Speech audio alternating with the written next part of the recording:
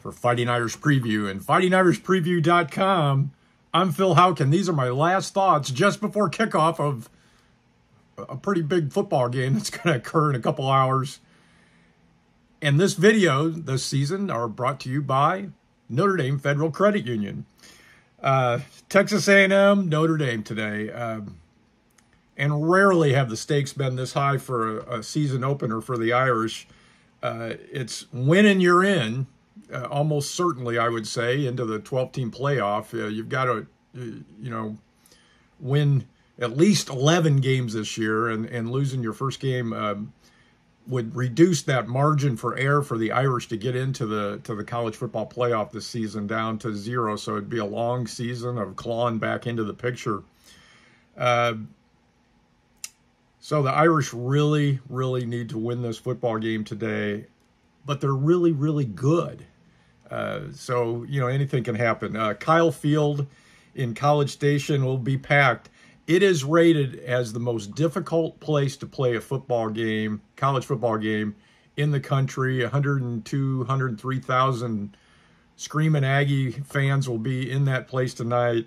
It's going to be loud. So the ability to communicate on the field, especially uh, on offense, uh, is going to be crit- critical. Word out of South Bend this week was that the last couple of weeks, uh, when Notre Dame was practicing in South Bend, or I should say at Notre Dame, uh, right just north of South Bend, that for miles around, you could hear the noise that was being pumped into that uh, practice facility for the Irish uh, the crowd noise to simulate what the Irish are going to face today.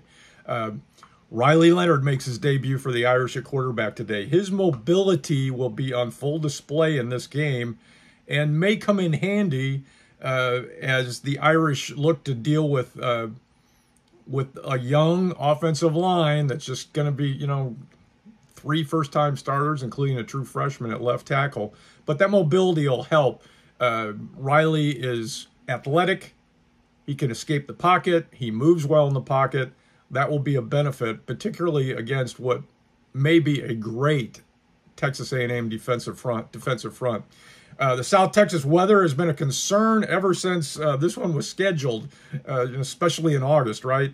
Uh, the latest report is for high humidity, 87%. Uh, I think I saw, and 85 degrees at t- kickoff. Now that's hot, but that's not bad. It's not as bad as uh, it might have been uh, when all things considered. They've had temperatures near 100 degrees. Uh, things will moderate a little bit as the evening goes on as well. Notre Dame's a three-point underdog today, and I would say that the home field advantage that we just spoke of is what pretty much accounts for all of that. Uh, my hunch on this one, Notre Dame's culture – uh, and coaching will find a way to deal with that noise.